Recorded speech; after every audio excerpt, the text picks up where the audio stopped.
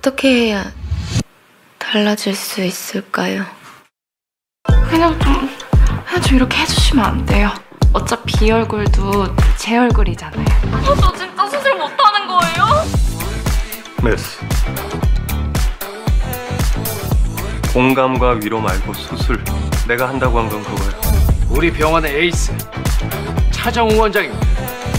여긴 미용 성형 전문 병원입니다. 재건 성형은 안 해요. 당신이 저지른 일 합당한 처벌받게 할 거야.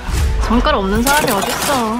우리 차정우 원장이 이 사회공헌 활동을 지속적으로 시행할 계획입니다. 일단 출발하자. 아주 상당히 걱정이 되네요. 막무가내 형사도 돼. 어디 가는 겁니까? 진범 만나러요.